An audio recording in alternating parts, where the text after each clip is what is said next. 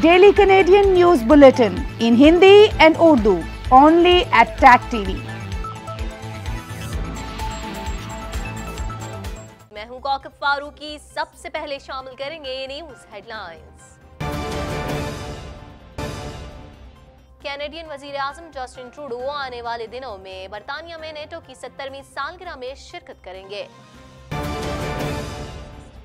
Conservative party کے رہنما Andrew share سے استیفے کا مطالبہ۔ شیئر کہتے ہیں کہ وقت اندرونی سیاست کا نہیں ہے۔ آنٹیریو حکومت کا ای سکوٹر منصوبے کا اعلان۔ وزیر ٹرانسپورٹ کا کہنا ہے کہ لوگوں کی زندگی میں آسانیاں پیدا کرنا چاہتے ہیں۔ نووا اسکوچیا میں شدید بارش اور برفباری معاملات زندگی بری طرح متاثر۔ ہزاروں لوگ بجلی سے محروم ہو گئے۔ امریکی صدر ڈونلڈ ٹرمپ کا افغانستان کا اچانک دورہ۔ امریکی فوجیوں اور افغانستان کے صدر اشرف غنی کے ساتھ ملاقات کی۔ ترک وزیر خارجہ نے فرانسیسی صدر ایمانویل میکرون پر دہشت گرد تنظیم کی مدد کرنے کا الزام عائد کر دیا ہے۔ ہیڈ لائنز آپ نے جانی خبروں کی تفصیل شامل کریں گے اس بریک کے بعد۔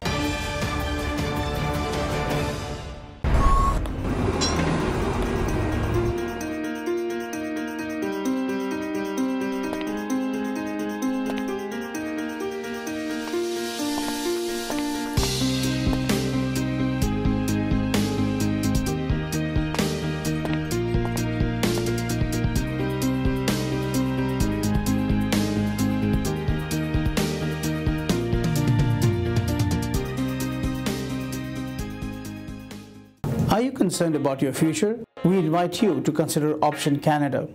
I'm a former Canadian immigration officer and a senior case analyst, and I've served the Canadian government for 16 years. I provide accurate assessment on every case, and I'll be happy to assist you in making Canada your home. For the past 26 years, we have assisted professionals, business people, senior managers, and the self employed worldwide to relocate to Canada. We can help you and loved ones back home live the Canadian dream. Do it once, do it right Swami Kashi گرو جی کا کہنا ہے کہ وہ آپ کی تمام سمسیاؤں کا حل جانتے ہیں سوامی کاشی گرو جی is a specialist in bringing back your loved ones. He is specialized to sort out generation curses and any problem within 48 hours.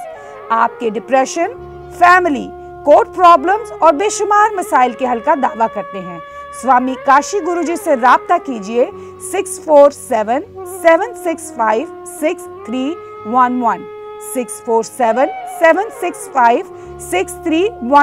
address five six five Markham road Scarborough کچھ بات کریں گے نیٹو کی سترویں سالگرہ کی تقریب میں۔ کینیڈین وزیر اعظم آئندہ ہفتے شرکت کریں گے۔ بانی میبران کی حیثیت سے کینیڈا نیٹو کا اہم رکن سمجھا جاتا ہے۔ مزید جانتے ہیں اس رپورٹ میں۔ کینیڈین وزیر اعظم جسٹن ٹروڈو آنے والے دنوں میں برطانیہ میں نیٹو کی سترویں سالگرہ میں شرکت کریں گے۔ وزیر اعظم آفس کے مطابق ٹروڈو اس موقع پر کینیڈا کے نیٹو کے ساتھ مل کر کام کرنے اور سیکیورٹی معاملات اور نیٹو کے ساتھ شراکت داری کو مزید مضبوط کرنے کے عزم کا اعادہ کریں گے۔ اجلاس میں ایجنڈے میں دفاع اور نیٹو کی کامیابیوں کو اجاگر کرنے کا مطالبہ کیا گیا ہے، جبکہ اس موقع پر قائدین اتحاد کو مضبوط بنانے اور مستقبل میں خطرات سے نمٹنے پر تبادلہ خیال کریں گے۔ جسٹن ٹروڈو کی جانب سے کہا گیا ہے کہ تنازعات کی روک تھام کے لیے کوششیں نیٹو میں خواتین اور مردوں کے کردار اور ایک محفوظ دنیا کے لیے کینیڈا اپنا کردار ادا کرتا رہے گا۔ بانی ممبران کی حیثیت سے کینیڈا نیٹو کا اہم رکن سمجھا جاتا ہے۔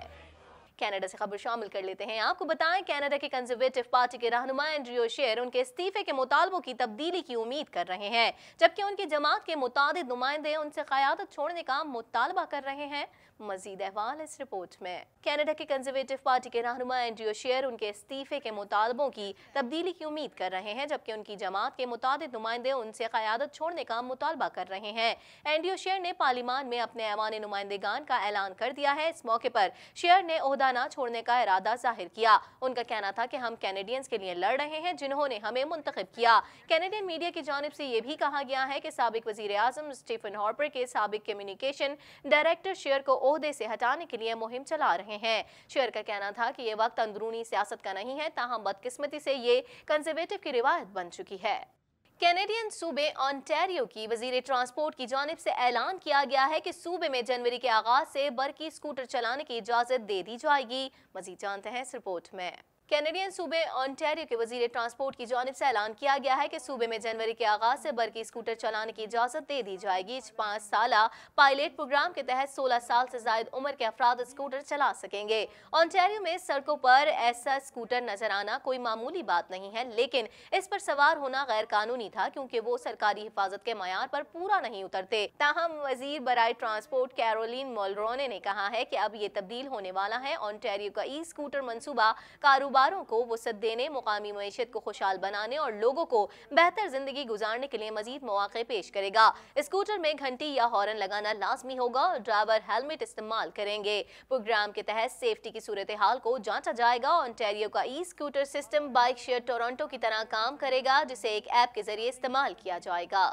نووا اسکوچیا میں شدید بارش اور برف باری کے سبب اڑتیس ہزار سے زائد افراد بجلی سے محروم ہو گئے، جس میں ہیلی فیکس ایسٹرن شور اور نیو روز ایریا کے علاقے شامل ہیں۔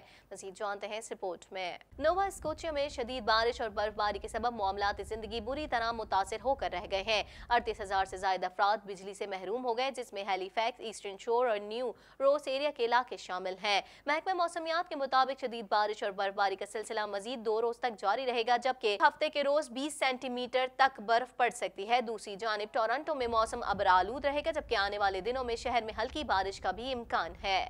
امریکی صدر ڈونلڈ ٹرمپ نے افغانستان میں امریکہ کے سب سے بڑے فضائی اڈے بگرام ایئر فلیٹ کا دورہ کیا اور امریکی فوجیوں سے ملاقات کی۔ دورے کے دوران امریکی صدر نے افغانستان کے صدر اشف غنی کے ساتھ بھی ملاقات کی۔ مزید جانتے ہیں سپورٹ میں۔ امریکی صدر ڈونلڈ ٹرمپ نے افغانستان میں بگرام ایئر فلیٹ کا اچانک دورہ کیا جہاں انہوں نے امریکی فوجیوں اور افغانستان کے صدر اشرف غنی کے ساتھ ملاقات کی۔ امریکی صدر ڈونلڈ ٹرمپ نے افغانستان میں امریکہ کے سب سے بڑے فضائی اڈے بگرام ایئر فلیٹ کا دورہ کیا اور امریکی فوجیوں سے ملاقات کی۔ دورے کے دوران امریکی صدر نے افغانستان کے صدر اشرف غنی کے ساتھ بھی ملاقات کی۔ اس موقع پر صدر ٹرمپ کا کہنا تھا کہ طالبان کے ساتھ امن مذاکرات جاری ہیں اور معاہدے کے لیے بات چیت کر رہے ہیں۔ امریکی صدر نے کہا کہ طالبان بھی جنگ بندی معاہدہ چاہتے ہیں اور اب اب وہ بھی۔ سمجھتے ہیں کہ مسئلہ اسی طرح حل ہوگا۔ صدر ٹرمپ نے کہا کہ افغانستان میں امریکی فوجوں کی تعداد تیرہ ہزار سے کم کر کے آٹھ ہزار چھ سو کرنے کا منصوبہ ہے۔ امریکی صدر کا طیارہ جمعرات کی شام جب بگرام ایئر فیڈ پر اترا تو ان کے ہمراہ وائٹ ہاؤس کے قومی سلامتی مشیر رابرٹ اور برائن اور سیکیٹری سروس ایجنٹس کے ہلکاروں کا مختصر گروپ بھی تھا۔ واضح رہے کہ امریکی صدر بننے کے بعد ڈونلڈ ٹرمپ کا افغانستان کا یہ پہلا دورہ ہے۔ اس موقع پر صدر ڈونلڈ ٹرمپ نے افغانستان کے صدر اشغانی سے بھی ملاقات کی اور امریکی فوجوں کے ساتھ ڈنر بھی کیا۔ انہوں نے وہاں تعینات امریکی فوجوں کے ساتھ بات چیت کی اور تصاویر بھی کچھوائی کچھ بات کر لیتے ہیں۔ ترک وزیر خارجہ کا کہنا ہے کہ فرانسیسی صدر دہشت گرد تنظیم کو اپنا اتحادی کہیں گے تو پھر کچھ نہیں کہا جا سکتا۔ مزید جانتے ہیں اس رپورٹ میں۔ ترک وزیر خارجہ نے فرانسیسی صدر ایمانویل میکرون پر دہشتگر تنظیم کی مدد کرنے کا الزام عائد کر دیا ہے۔ ترک وزیر خارجہ نے پارلیمان میں صحافیوں سے گفتگو میں کہا کہ فرانسیسی صدر میکرون دہشت گرد تنظیم کو اسپانسر کر رہے ہیں۔ ان کا کہنا تھا کہ فرانسیسی صدر دہشت گرد تنظیم کو اپنا اتحادی کہیں گے تو پھر کچھ نہیں کہا جا سکتا۔ ترک وزیر خارجہ نے کہا کہ صدر میکرون میکرون یورپ کے لیڈر بننا چاہتے تھے، مگر وہ ناکام ہو گئے ہیں۔ واضح رہے کہ فرانسیسی صدر نے گزشتہ ماہ پیرس میں کردوں کے مسلح باغی غروب سیرین ڈیموکریٹ فورس کی ترجمان سے مذاکرات کیے تھے، جس پر ترکی نے ناراضگی کا اظہار کیا تھا۔ اسے کے ساتھ ہی ٹیک ٹی وی کے پاکستان سٹوڈیو سے فی الوقت اتنا ہی۔ مزید خبروں اور اپڈیٹس کے لیے دیکھتے رہیے TAC TV.